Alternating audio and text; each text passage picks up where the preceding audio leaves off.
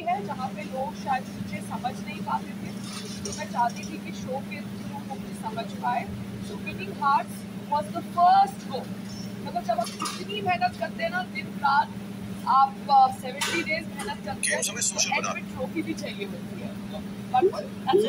अगर आप नहीं जीतते तो Munawar was a perfect candidate to win that show अगर मैं नहीं अगर आप नहीं जीतते मैं कहाँ जीती हाँ अगर आप आप वो शो के हिस्सा नहीं रहते तो Munawar was a perfect candidate because fans were telling you are the perfect candidate तो अगर आपके हिसाब से कौन वो शो जीतता?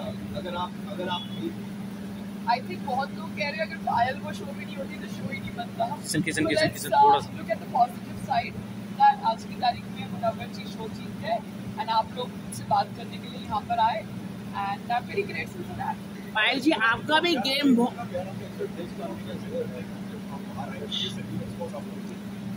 I was not expecting this because अगर आप देखेंगे भी तो संग्राम जी जब आए थे शो में मैं संग्राम जी को पूछी थी I you okay I you not ashamed of me आपको एम्बेरसमेंट तो नहीं हो रही है बिकॉज़ क्या होता है जब आप घर के अंदर होते हो, आप